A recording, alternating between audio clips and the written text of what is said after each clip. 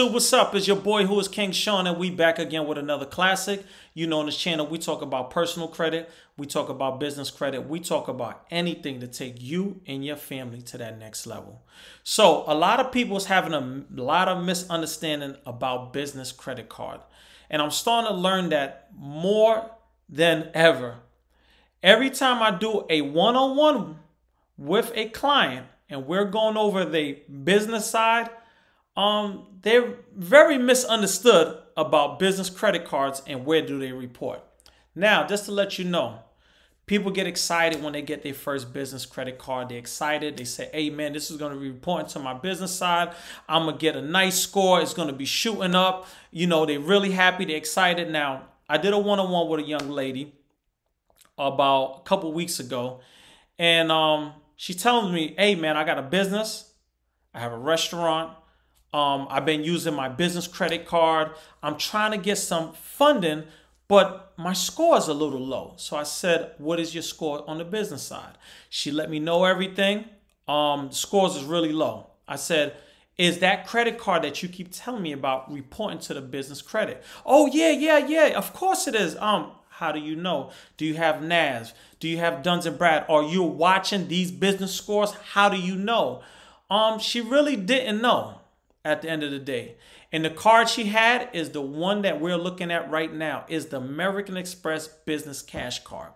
Now, I'm going to let you know right now, American Express Business Cash Card do not report to the Business Credit Bureau.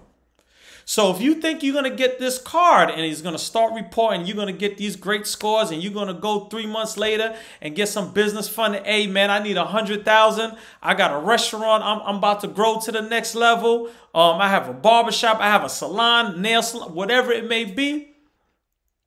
You're going to be denied. You need accounts reporting to your business side. You could get more into that in my past videos. We're talking about business credit cards. So let's go through a couple today.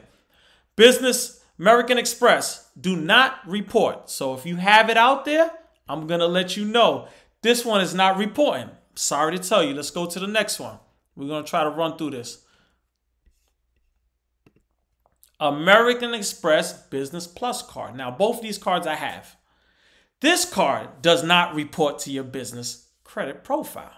So you will not be getting those scores. It will be nothing document about this card when it comes to business, when it comes to Experian business, Dun and Bradstreet, and Equifax business. So that's zero for two. Let's move right along.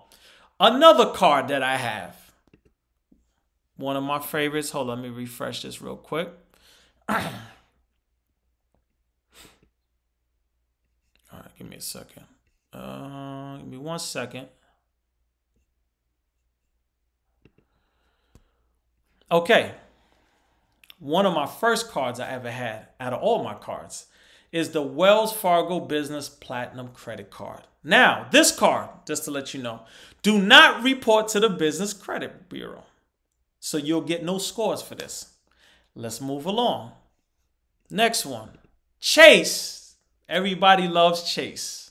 We got the business premier, we got the business unlimited, and we got the business cash. Now I have the business unlimited and the business cash. And guess what, people? These cards do not report to the business credit bureau. So you will not get no scores for these cards too. Now is a little different with them. Now, if you really want these cards to report, they do have a relationship with Dun and Bradstreet, right? But this is the steps you're going to have to do. You're going to have to call up Dun and Bradstreet, not Chase, and tell Dun and Bradstreet, hey, listen, I know you have a relationship with Chase. Um, I have one or two business credit cards. I would like to have these cards start reporting monthly. Can you start pulling these cards monthly?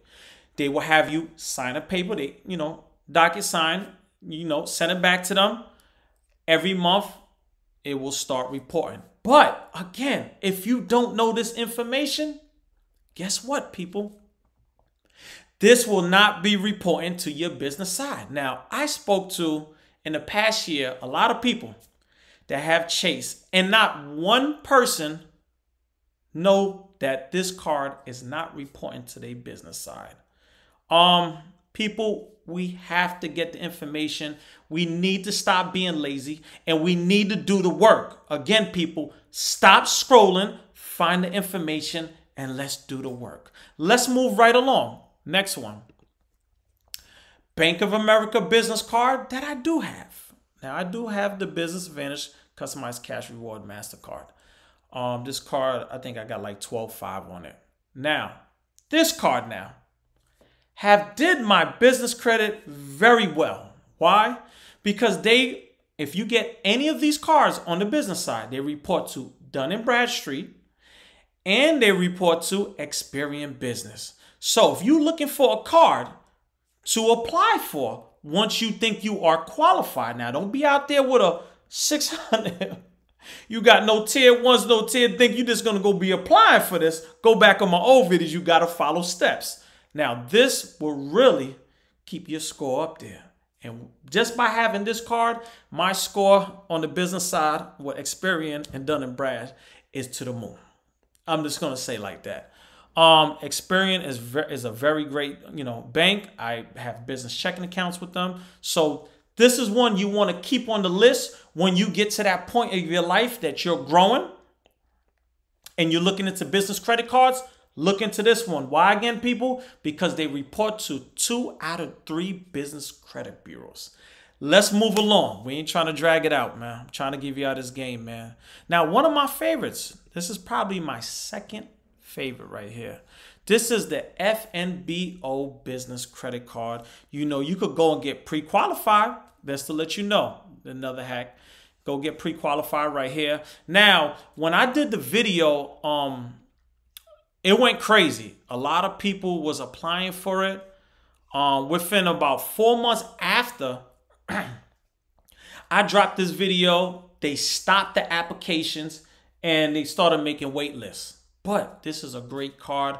Um, this card and probably my Bank of America is the two cards I use a lot. Now, remember, you have to use your business credit wisely and very smart. This card, guess what? This card reports to the credit bureau. Now, it, it reports to only one, Dun and Bradstreet.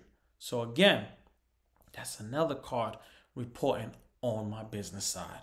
Now I have others and I have gas cards we're going to get into. That's going to be on another video. I'm going to tell you where the gas cards pull from and where they report into. But Evergreen is a great, great card. I have the personal and they started me off when I first got this. It was my second card after the Wells Fargo. They gave me $15,000. Great card. I use it every day. Now we're going to move right along. And any of these cards, if you want information on it, I got videos on it. So I'm not going to be talking about APR. Um, we're not going to talk about any of that. I got videos on all these cards. Now, the next card, that's probably the worst card. Not to say in the world, but probably my top two worst cards ever coming up.